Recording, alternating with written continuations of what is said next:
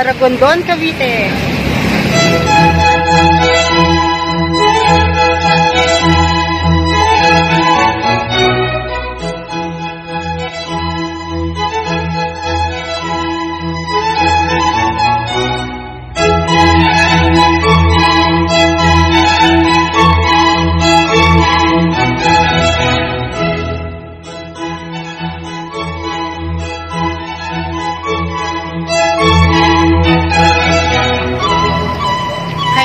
Kaobra. So ngayon, nandito na tayo sa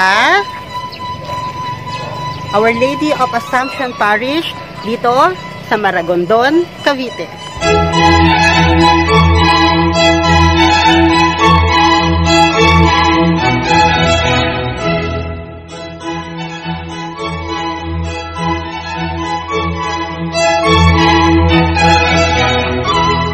Ang pangalang Maragondon ay nagmula sa salitang madagundong na ang ibig sabihin ay maugong.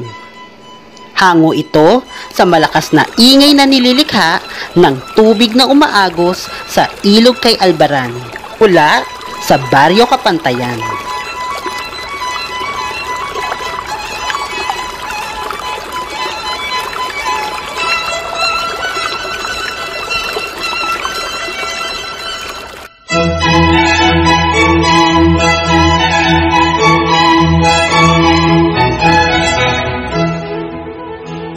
Pinalitan ang pangalan ng bayan at ginawang Marigondong. Hinango naman ito sa pangalan ni Maria bilang pagparangal sa birhen ng patron ng bayan na si Nuestra Señora Maria Asuncion.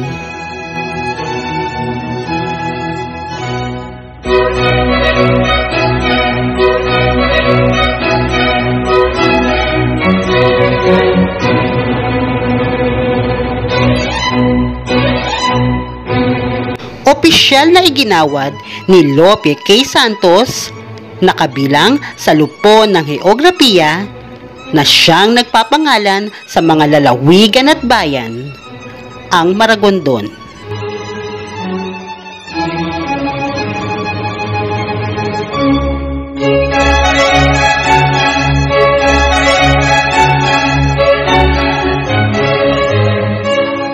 Maraming pinagdaanan ang makasaysayang bayang ito ng Maragondon.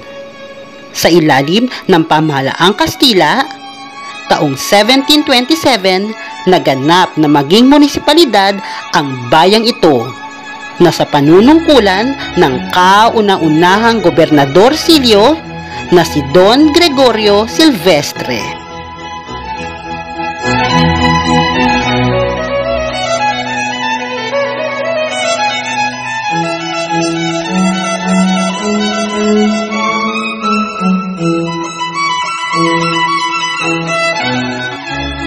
Malaki ang lupa na nasasakupan ng bayan ng Maragondon.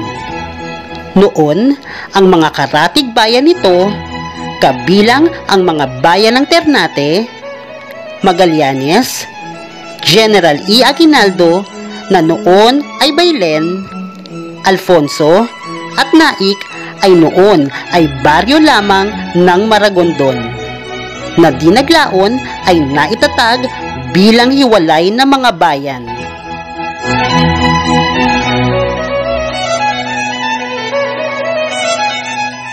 Ang Naik ay napahiwalay sa Maragondon noong taong 1795. Samantala, ang Ternate naman ay nagsariling bayan noong March 31, 1857.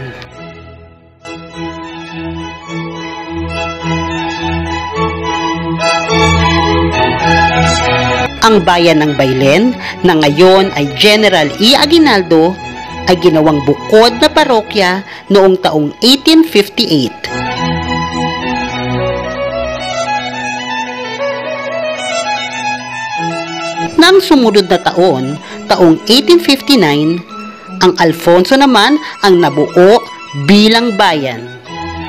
At noong June 15, 1879, naitatag naman ang bayan ng Magallanes.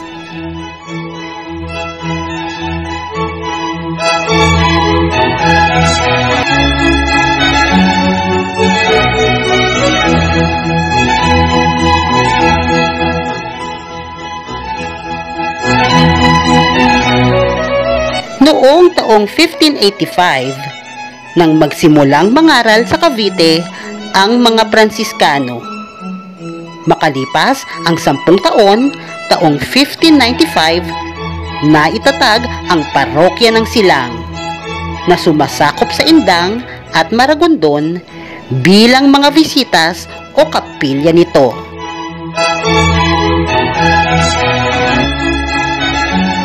Noong 1611, sa pamamahala ng mga Heswita, ang Maragondon ay nahiwalay sa silang at naihanda bilang bagong parokya.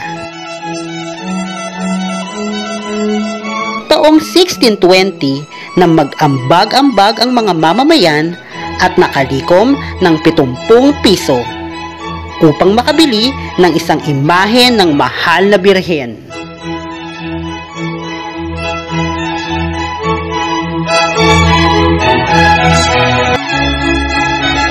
Taong 1627 naman nang formal na maitatag ang parokya ng Maragondon. Naging maunlad ang bayang ito kung kaya gumawa ng mas malaki at mas magandang simbahan na gawa sa kahoy. Taong 1633 nang ginawang bato ang simbahang ito.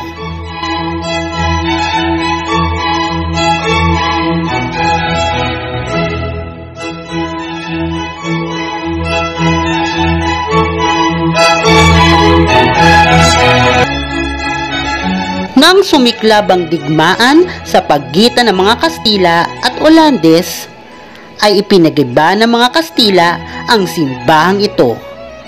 Sa takot at panganib na gawing itong kuta ng mga kalabang Olandes.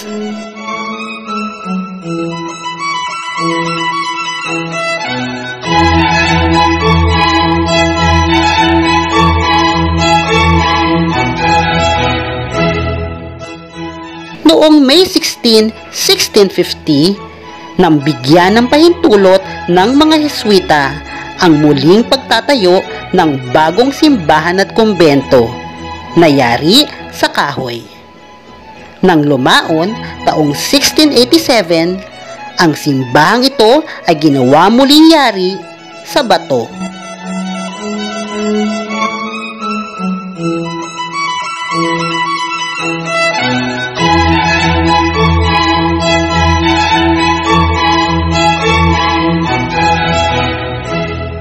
Mula sa mga Heswita, inilipat ang pangangasiwa ng simbahan sa mga paring sekular noong taong 1768.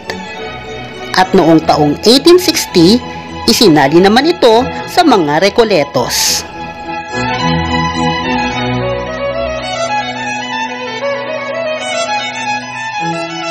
Ang mga Mardikas na mula sa Molucas sa bansang Indonesia ay nanirahan sa Barra de Maragondon. Na ngayon ay Ternate. Na kung saan dala nila ang Santo Niño de Ternate. Ngunit dahil sa wala pa silang sariling simbahan mula taong 1663 hanggang 1863 ang imahe ng Santo Niño ay nailuklok sa kanang altar at dinadala lamang sa Ternate tuwing kapistahan nito.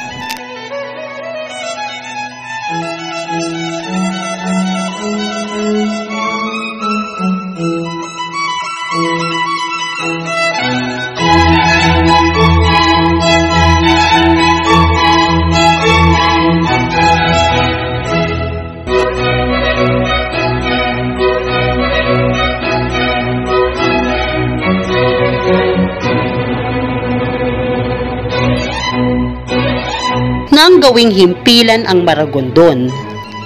Ang simbahang ito ay ginamit at tanggulan ng mga revolusyonaryo ng puwersa ni General Emilio Aguinaldo.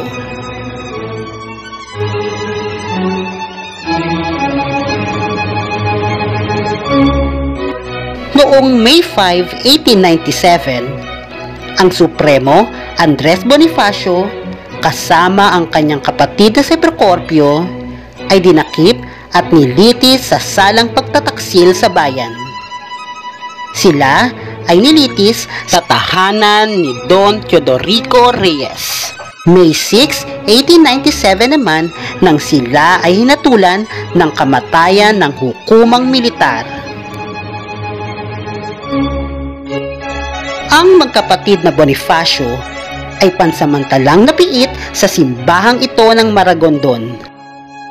Ang baryo hulog sa bundok nagpatong isinakatuparan ni Komendante Lazaro Macapagal ang hatol sa dalawa, ang kamatayan.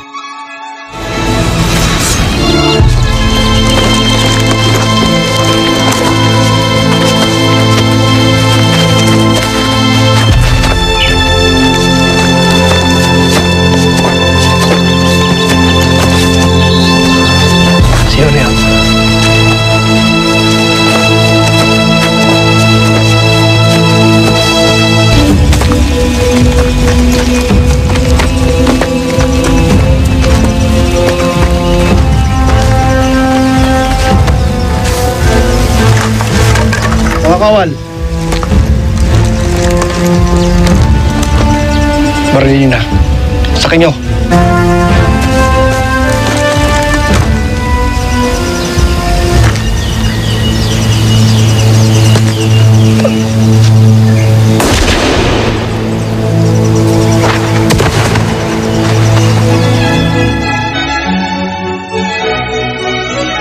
Sa buong Pilipinas, maraming mga antigong simbahan ang itinayo ng mga Kastila sa panahon ng kanilang pananakop.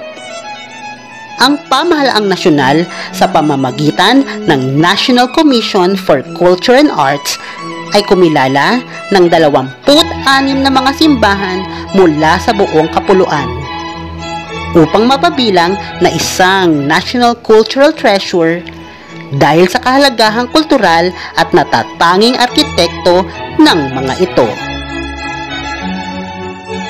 Ang malaking bahagi ng simbahang ito ay gawa pa sa mga batong mula sa ilog. Natatangi ito sa mga disenyong barkong galyon at mga bulaklak na pansin sa mga altar, pulpito, at pinto. Kung kaya, noong July 31 taong 2001 ay inihayag ang pagkakapili ng simbahan ni Nuestra Señora de la Asuncion sa 26 na simbahang itinuturing na National Cultural Treasures.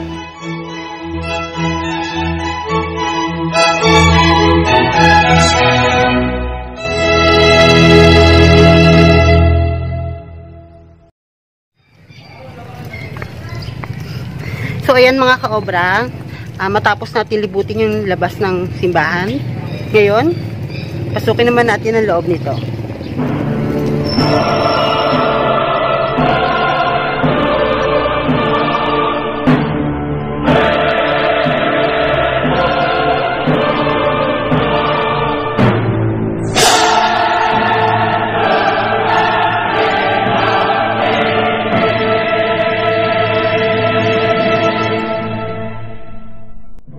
Kahanga-hanga at katangi-tangi ang yaman ng simbahang ito.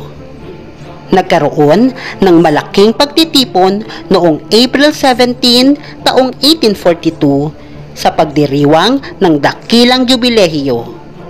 Kung kaya't upang hindi ito makalimutan, ipinaukit ang mga kaganapan sa biga ng kisame ng simbahang ito.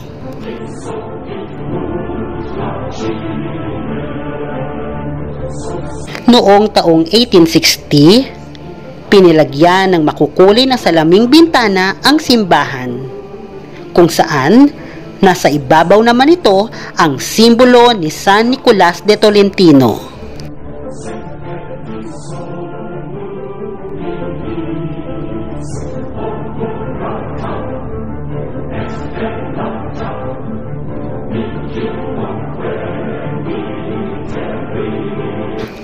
Pintuan naman ng simbahan ay may disenyo ng mga bulaklak at barko ng kalakalang galyon. Gawa ito sa makapal at mataas na uri ng kahoy.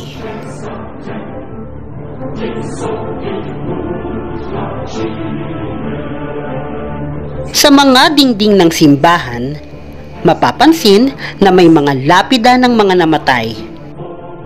Ang kanilang mga buto ay nakalagak sa loob mismo ng simbahan. May mga ilang natatanging personalidad ang nakabilang dito.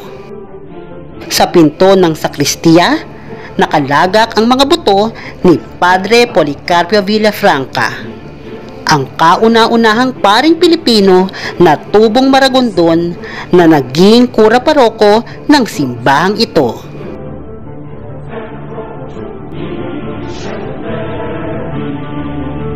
Sa kabilang tabi, nakalibing naman ang mga buto ni Padre Zenon Villafranca. Isang paring tubong maragondon din na nagpanumpa kay General Emilio Aguinaldo bilang Pangulo ng Pamahalaang Himagsikan ng Pilipinas.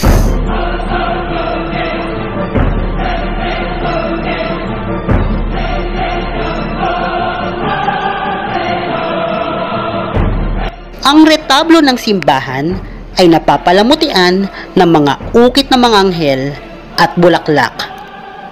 Gaya sa mga lumang simbahan, ang retablo ay gawa sa kahoy na abot kisame ang taas.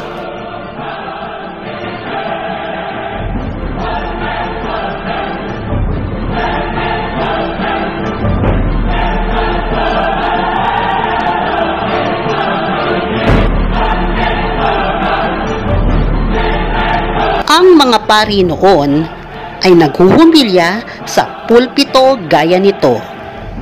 Mapapansin ang puting kalapati sa ibabaw na siyang sumisimbolo ng Ebanghelyo. At sa paligid dito ay ang simbolo ni na Maria at Jesus.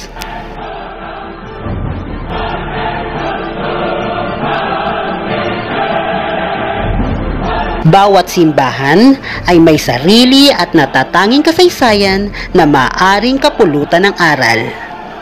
Ang istorya ng simbahan ng Nuestra Señora de la Asuncion ay di maiiba.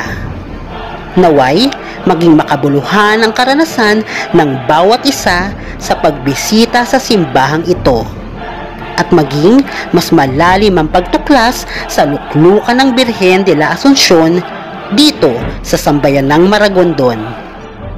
Anumang biyaya at himala, ang idalangin natin ay mas ganap kung may positibong pagbabago sa ating mga sarili.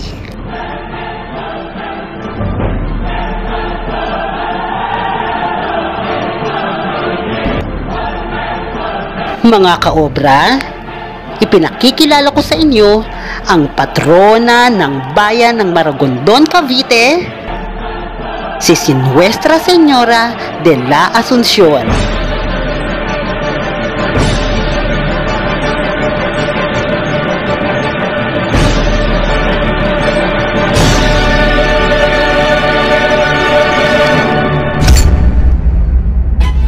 Bukas sa Obra Maestra.